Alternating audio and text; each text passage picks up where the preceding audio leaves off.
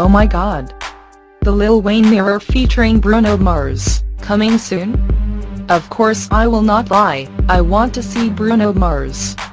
So you guys know, it will be released the 31st of January, on Tuesday. It is like freaking Christmas.